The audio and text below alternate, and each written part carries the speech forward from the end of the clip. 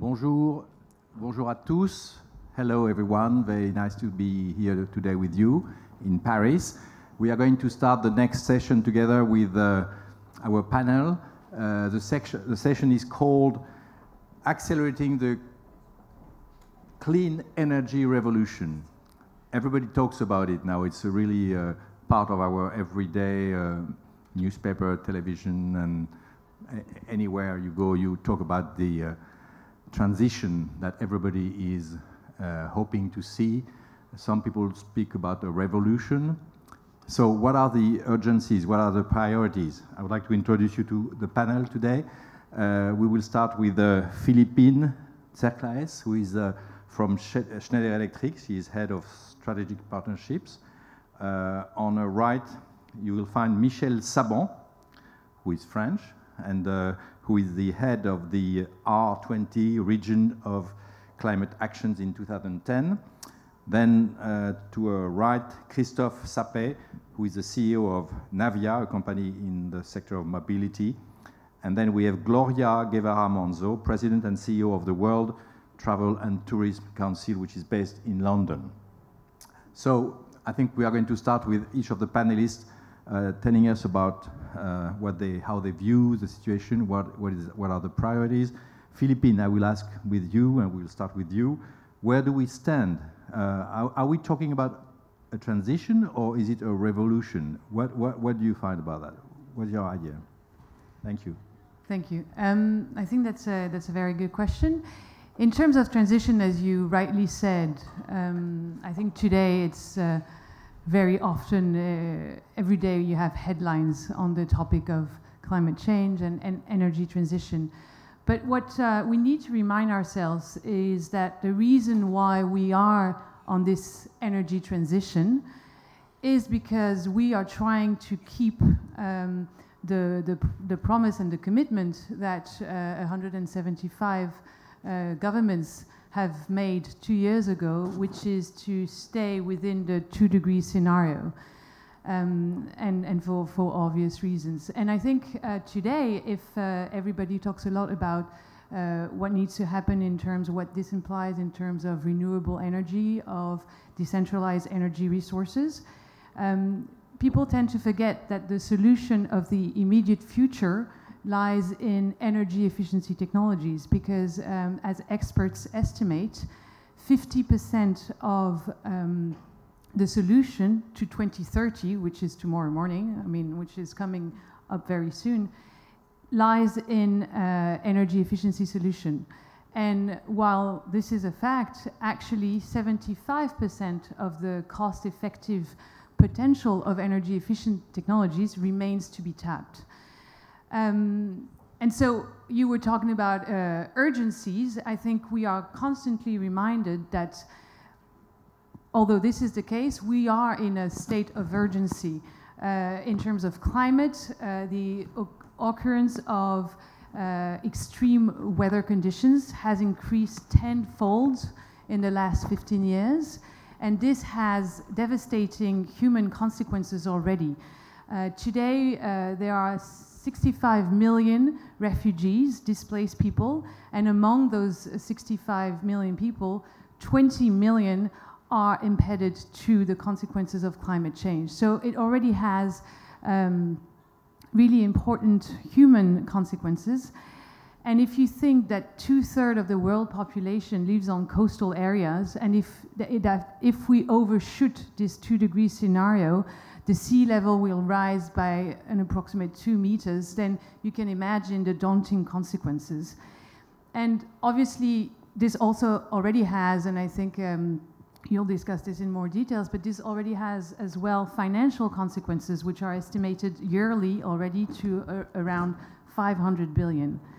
And again, this does not need to be the case because we have the technologies and they are cost effective. What we need is a willingness to scale them up and, uh, and to implement them. Just as an example, in the, in the building sector, which is in France 40% of the energy consumption, by implementing um, uh, monitoring, control, and automation technologies, you can reduce the energy consumption by 30 to 50 percent with a return on investment of less than three years. So technologies are there, they are cost effective, we just need to implement them. Merci, thank you, Philippine. Um, Gloria, you are the president of the World Travel and Tourism Council. Um, could you tell us what it is so we uh, have a more uh, a better idea of what you do? And of course, by the number of people traveling more and more for tourism, for vacation around the world, uh, it definitely affects uh, energy, climate change, pollution, everything. So, what is for you the priority in that sector? Thank you. Thank you. I couldn't agree more with uh, Philippine. First of all, World Travel and Tourism Council uh, represents the private sector for travel and tourism globally. We have more than 160 companies uh, that they do business in travel and tourism around the world. If you look at the sector, um, we represent travel and tourism counts for 10% of global GDP. That that's very important around 292 uh, million jobs. That's um, a lot of jobs. And by the way, 50% of those are women, which is uh, an important uh, number. Now, I couldn't agree with Philippine more because we depend on the uh, natural assets, of course, and climate change is a big impact. When you look at destinations that not 10%, but perhaps 40% or 50% of the GDP depends on travel and tourism, and they don't have the opportunity because of the storms, of the impact of climate change, or if we don't reach the goals, uh, the forecast is that some of those destinations might disappear in, um, in, I don't know how many years, 80 years, I think is the forecast. So we are very concerned, very concerned. How many people travel every day for tourism? Um, you know? Around the world, uh, yeah. international uh, arrivals is 1.2 billion international uh, uh, from one country to the other. Now, when you think about domestic, is a little bit over 6 billion people, okay? And that movement of people, of course, creates uh, 292 million jobs around the world. We're forecasting that in the next seven years, 100 uh, million jobs will be created in addition to the 292 that we have. And what's, what's interesting here in Europe will be uh, 5 million in the next couple of years. So that, that's interesting. So to add to what she mentioned is that uh, if you look at the devastation in the Caribbean, for instance, just recently, just the first storm uh, impacted a lot of our destinations and uh, 1.2 million people uh, were affected. After the second storm, that number went up to more than 3 million. So, and, and these are destinations that the main economic activity, of course, is travel and tourism. So we are very concerned, and at the same time, we're very committed. Our industry is doing uh, as much as possible, and, and actually, some more than others, to try to contribute as well with the commitments from uh, the Paris Agreement and, and be responsible as well, because we have like two ends. In one end, the traveler, the millennials that, uh, for instance, the, we see that traveling more, the Generation X, uh, if we are conscious of our waste, the management, be conscious about the water, we, we protect the assets, I think that we can all contribute to have a sustainable environment. Considering the uh, immediate danger for your sector, uh, what do you recommend? What is the urgency that you recommend to your members? What you tell them in terms of uh, clean energy? Is there a message that you deliver to them? Yes, we. Uh, if, if you look at our members, we have a specific um, commitments depending of the sectors. Uh, and the industries, I'm sorry, within the sector. Travel and tourism is the sector, but then you have the airlines, the hotels, the cars. And when you look at um, who contributes, unfortunately, the most, 93% um, of the contribution of the emissions, for instance, we have 40% aviation, 32% car travel, and 21% accommodation. Now, in the case of accommodation, for instance, hospitality, they, they have come a long way. A lot has been done in terms of saving energy, waste management, uh, water, and, and all of that.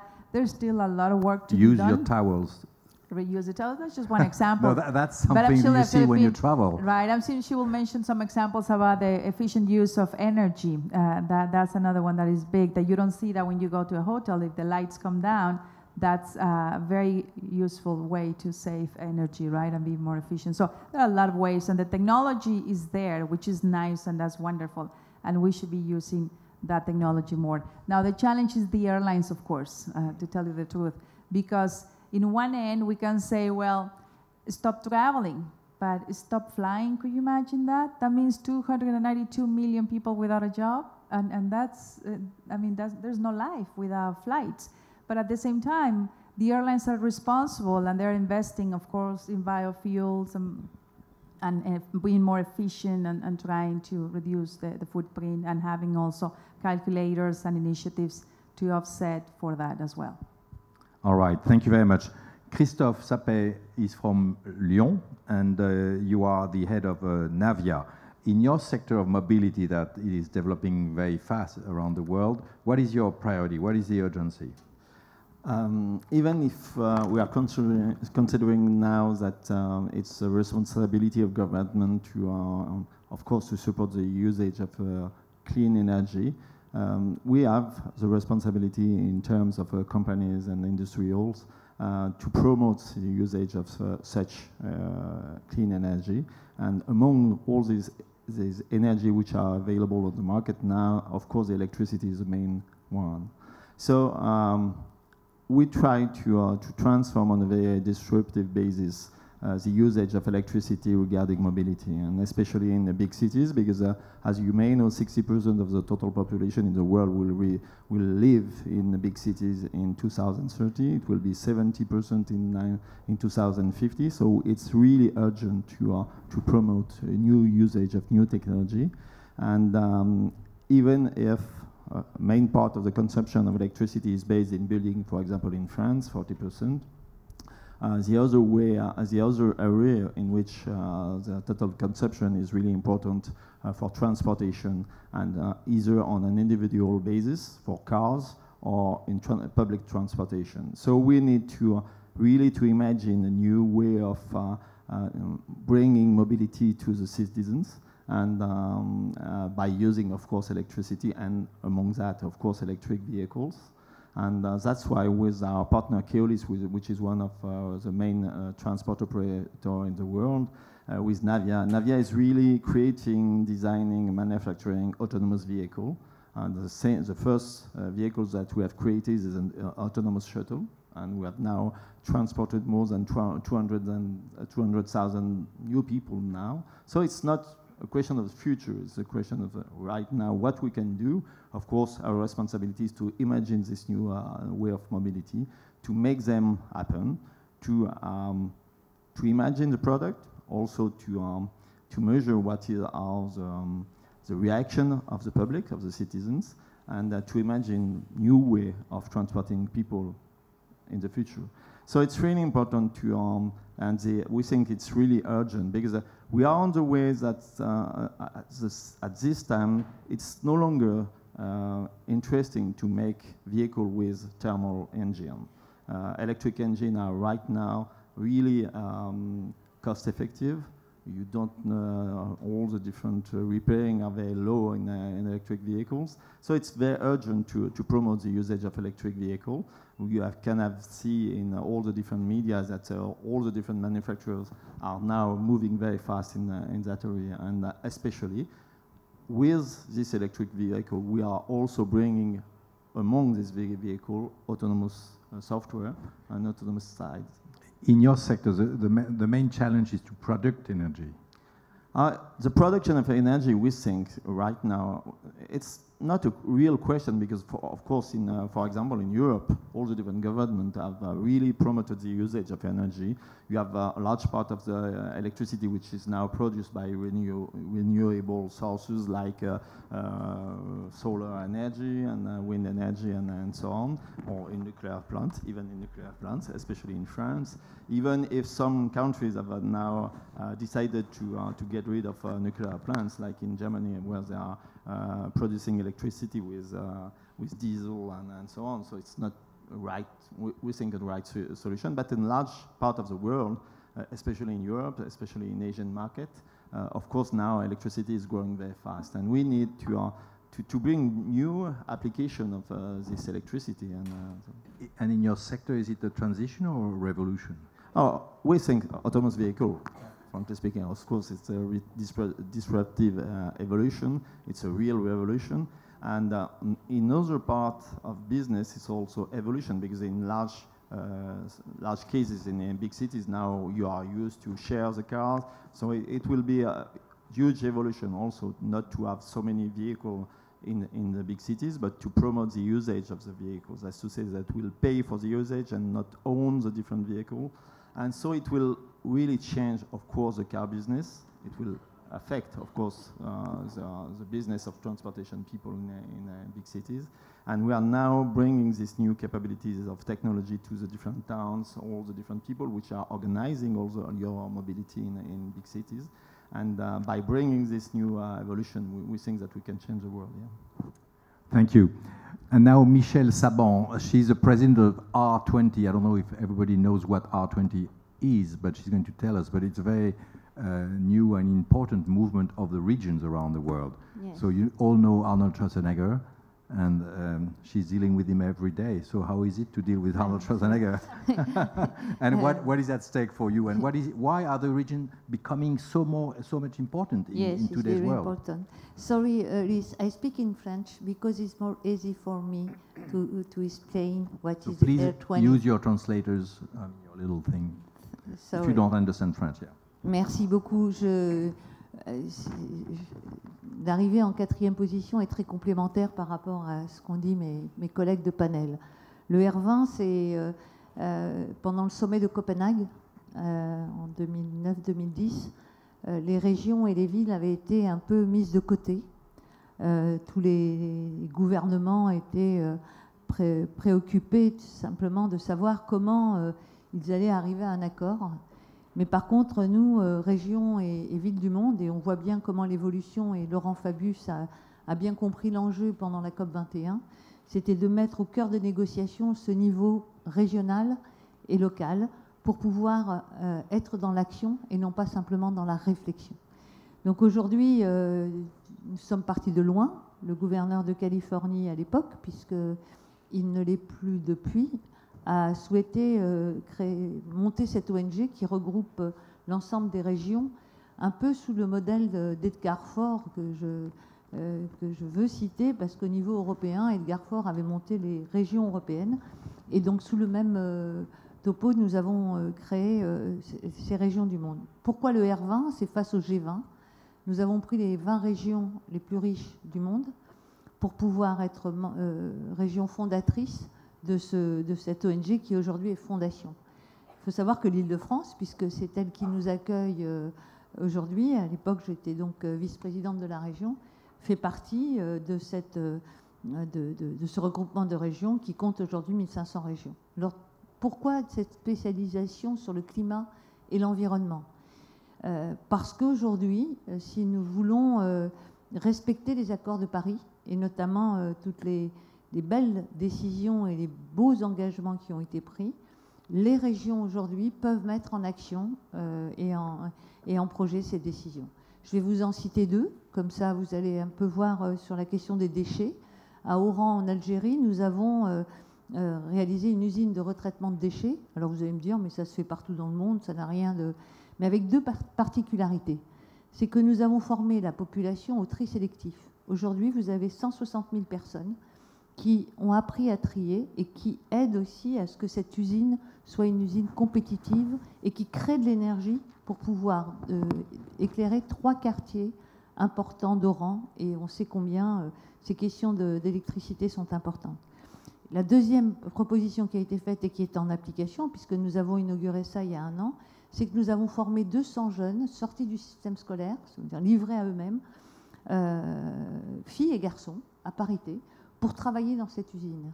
C'est un, concept, un, module que nous pouvons faire partout dans le monde. C'est du copier-coller. Vous pouvez le faire à la sortie d'Île-de-France, dans une des, villes d'Île-de-France, comme vous pouvez le faire du côté d'Abidjan, comme vous pouvez le faire à Oran.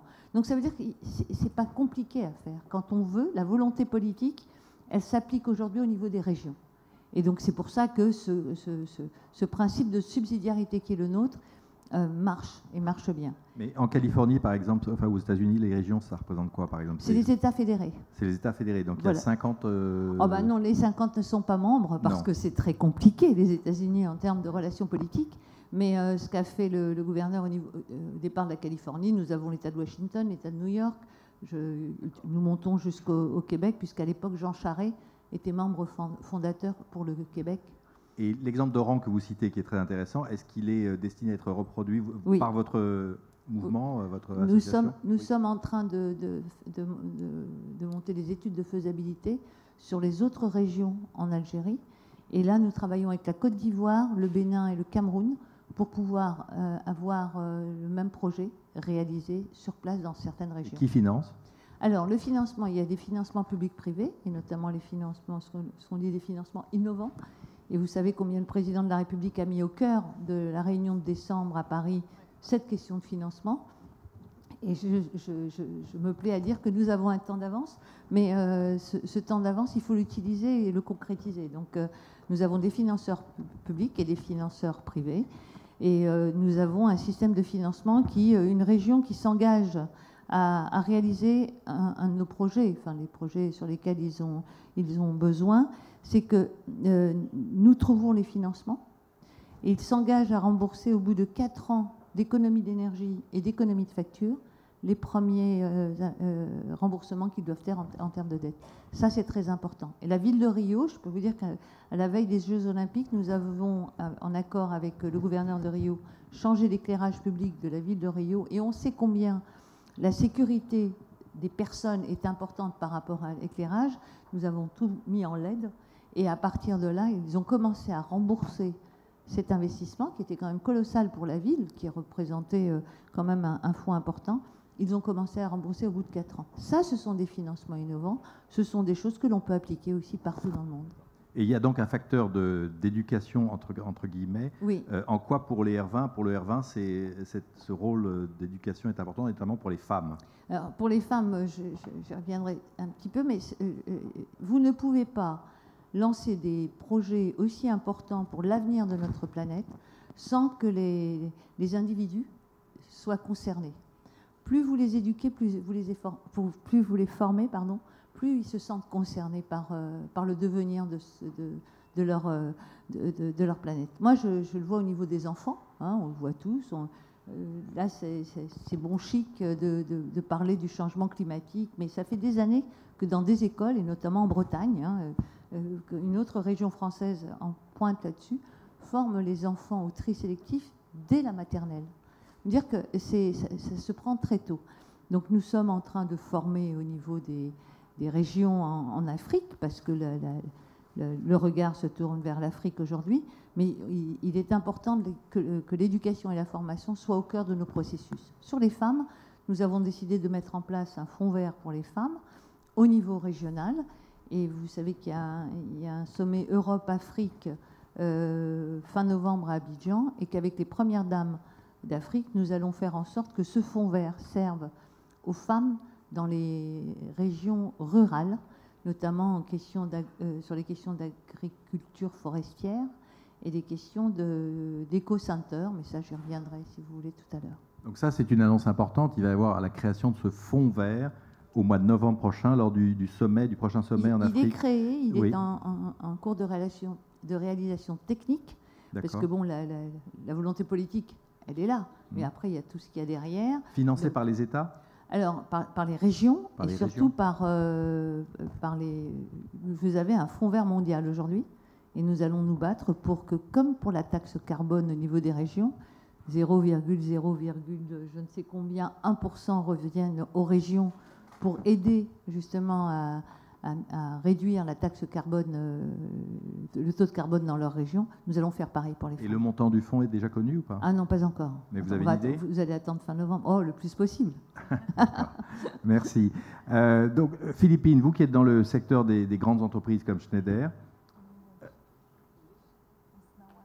Uh, sorry, I'm going to speak in English, sorry. Yeah. As you are in the sector of big companies, how the big companies are preparing this transition or are participating, and what are their priorities? I mean, how do you uh, involve them? How, how are they involved? We see the role of the regions compared to the states, and sometimes it could be crucial. But what about the big companies? So um, I think uh, it was in a session this morning we were saying uh, innovation comes uh, at the intersection. Um, and I think in terms of accelerating and making sure this energy transition and or revolution, because it depends on the sector, happens, uh, we need uh, increased collaboration between the public sector, the, the financial sector, and companies. Um, and um, it, it, may sound very generic, but it's actually uh, extremely crucial to make sure that we are able to scale up and deploy those technologies. And so, typically, in the case of, uh, of companies, um, I think uh, at Schneider Electric, everything we do is to, we are a tech company, and everything we do is to support our customers to uh, move forward on energy management and automation, and so forward in this energy transition.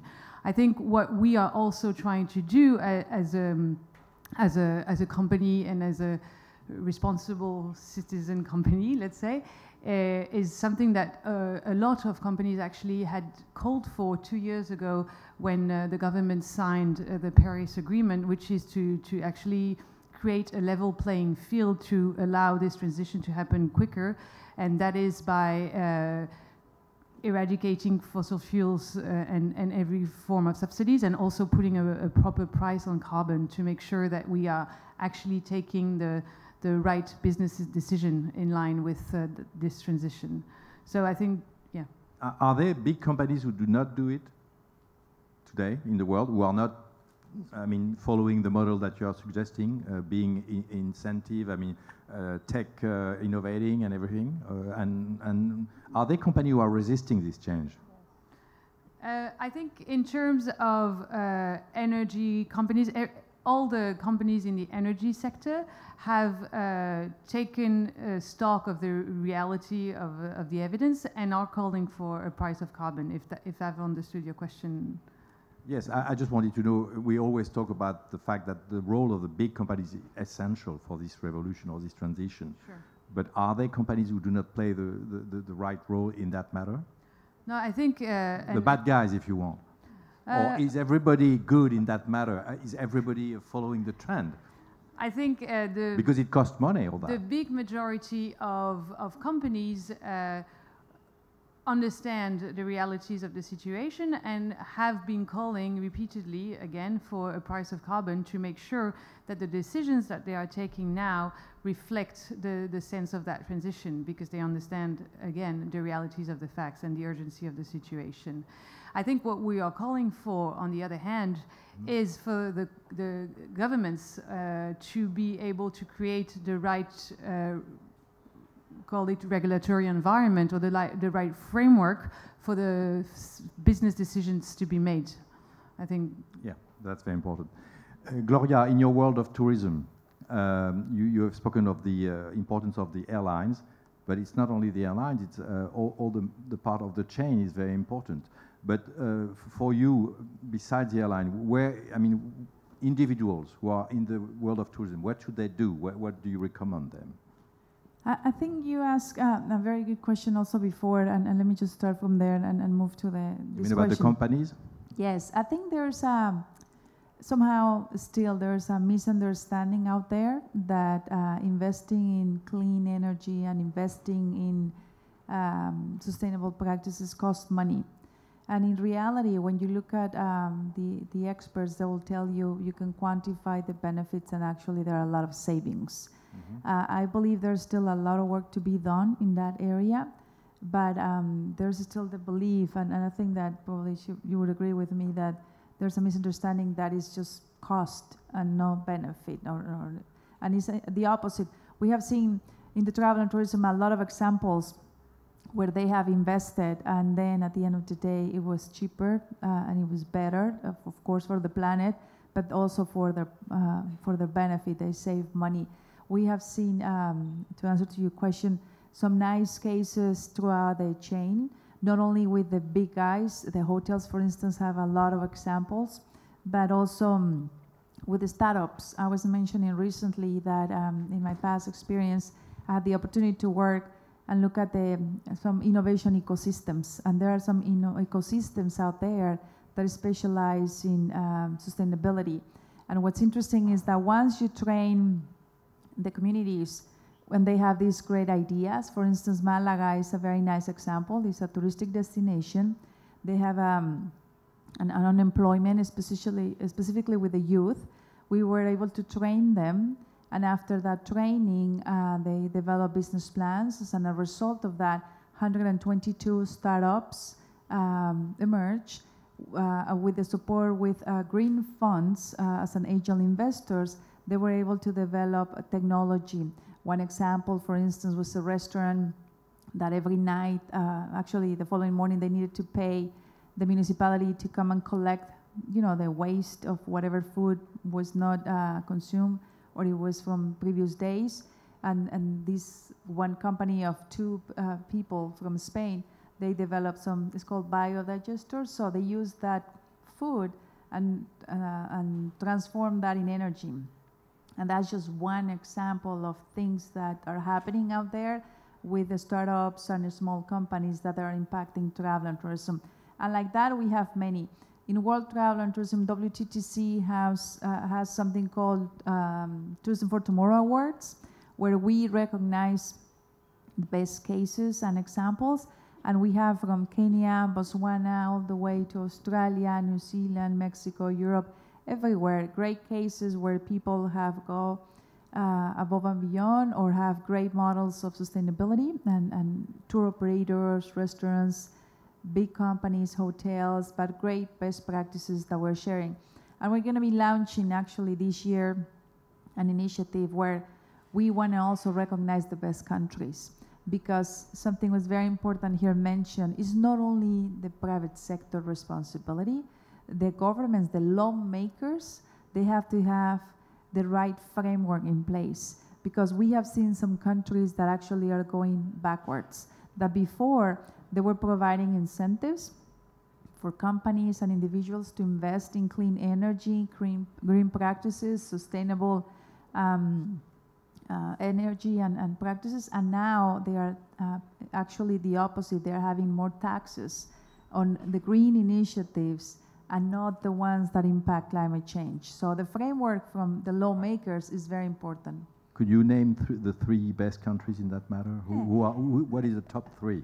Well, we're working on that. We have a ranking that we have developed based on the research because we do a lot of research, yeah. economic research, and also um, and different types of research. But uh, we're going to be announcing um, very soon the one of the best countries that has the 10, uh, 10 categories. Which uh, continent? It'll be a surprise. It'll okay. be a surprise. Christophe, we talked about autonomous vehicle, uh, but there are other ways, other forms of uh, new ideas to, uh, to go in that uh, direction of cleaner energy and cleaner world. What are they? Where are we? Where do we stand? Um, at that point, of course, we are the, the, the way we can consider the situation is, um, for example, in big cities, uh, on one side, of course, there are uh, electric vehicles that should be deployed and new services dealing, for example, with what we, we, have heard about, of course, VTC, with a sharing system of, of a vehicle. And it's really important to, to, to understand that the new the, uh, the young people now, they do not, they are not considering, uh, for example, the, um, the fact to own a vehicle has to be something which is very, really important for their life. Is uh, they, they want really to invest, for example, in new, their new mobile phone or whatever may be. So we need to, uh, to, to, bring, to, to give them a new way of mobility. And of course, in order to decrease all the different uh, carbon emission or noise in, uh, in the cities, we need to, uh, uh, to bring this new vehicle in, in the cities. For that, we need to uh, establish a new partnership between public and, uh, and pri uh, private companies. Because, for example, the, new, the first lines that we have developed, uh, for example, in Lyon, it was a, public-private uh, partnership between the, the, city of Lyon with Keolis, a transportation operator, with uh, Navya, which is designing the vehicle. And all these things makes it possible to uh, to provide new services to the to the citizens. And um, in other side, what we can also uh, think about is all the different technologies that can be brought to the to the to the city in order to to ease uh, the, the, life of, of all the citizens and to, to make it more sure, uh, because uh, of course in uh, in some cases it, it's very dangerous. Merci, Christophe. Uh, as we are approaching the end of the session, I would like to ask each, each of the panelists the last word, and to start with Philippine. What what did you I mean, what, what will you, uh, what would you say? First of all, if I may, I would like to reiterate uh, what Gloria said uh, and, and not leave uh, the audience with a misunderstanding because you said repeatedly there is a cost. Yes, there is an upfront cost, but it's also benefits. What I said, but I didn't probably emphasize enough, is that uh, we have today and even more so with the with the conversions of IT technologies uh, in, in, in and OT technologies, we have return on investments that are extremely quick. So we have savings actually in terms of utility bills. For instance, uh, through software and through connected devices for a huge uh, retail customers, we were able to implement 100 million savings on their 600 million uh, utility bills. So it is savings, uh, so it's not only good for the climate, it's only not only a necessity, it's also good financially, and it, it's also good in terms of, of job creation that you had been mentioning earlier. So I think uh, in a concluding word, I would say technologies are there. What we are really uh, calling for, and uh, you referenced earlier to the Climate Finance Summit in December, I think what would be a great goal for uh, President Macron and the, the rest of uh, the, the, the, governments attending uh, that, uh, that summit would be to put a price on carbon. Merci. Michel Saban, votre mot de la fin, your Alors conclusion? moi, Je voudrais finir sur les femmes, puisque c'est quand même euh, ces thèmes qui euh, aujourd'hui nous guident euh, sur, cette, euh, sur ces deux journées de, de conférence. Moi, je pense que quand on parle d'éducation et de formation, euh, nous, nous avons des problèmes de riches ici. Euh, mais il faut aller dans les, dans les continents, dans les pays où euh, la question euh, du climat est presque secondaire. La question qui est prioritaire, c'est de vivre, de, manger. Mais on peut allier les deux. On peut allier le climat, le changement climatique, l'environnement, et euh, réduire la pauvreté dans le monde. Et donc à partir de là, c'est tout l'enjeu du, du, Fonds vert pour les femmes. Si nous voulons parler d'indépendance et d'autonomisation des femmes, il faut parler d'éducation et de formation. On ne peut plus faire comme à une époque où on arrivait, on construisait des choses et on repartait et on laissait les populations livrer à elles-mêmes. Il faut savoir prendre le temps et euh, se donner le temps d'éduquer, de former. Ça veut dire que euh, sur la question de l'environnement, il ne faut pas simplement dire que la désertification crée des, poches euh, d'insécurité totale dans certaines régions du monde et notamment en Afrique. Il faut réduire euh, la pauvreté pour éviter justement de créer ces poches d'insécurité et de, violence. Les femmes aujourd'hui en Afrique ont pris leur euh, destin en main, veux dire. Je fais court. Mais au travers de ce fonds, ce que nous voulons faire, c'est justement, euh, il y a une formule qui est très belle, je finirai par là. J'ai assisté à une réunion de la diaspora des femmes africaines. L'or rose de l'Afrique, ce sont les femmes. Et vous l'avez tout compris. Merci Michel Saban. Christophe, le mot de la fin. Um, in English.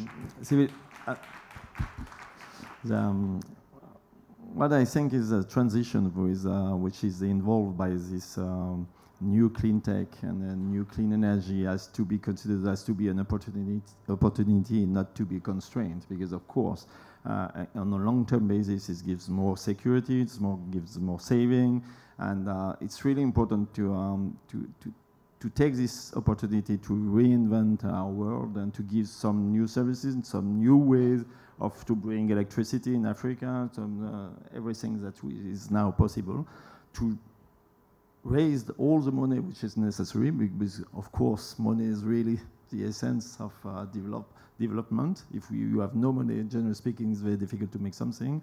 And um, it's really interesting to see that all the technology are now uh, there together. We are only to consider that to make to take the best of all the technology and to bring new services to the population. And I think it's really important. Thank you. And the very, very last word to you, Gloria. Thank you. Um, I think um, climate change is impacting the planet. We see that every day. I mean, just need to turn on the, your TV or, or, look at the internet and see the impact in the Caribbean, in Asia, and here in Europe, and, and the weather is impacting everyone. I truly believe that this transformation or revolution is responsibility for everyone. From we see that from the traveler, be careful with the waste, the water, the electricity while you're traveling. Make sure that you protect the natural assets that that country or that destination has. It's responsibility for the travel industry, the provider, the airlines, the hotels, tour operators, the cars, but it's also responsibility for the tourism sector which includes, of course, the governments, the lawmakers, and, and the leaders.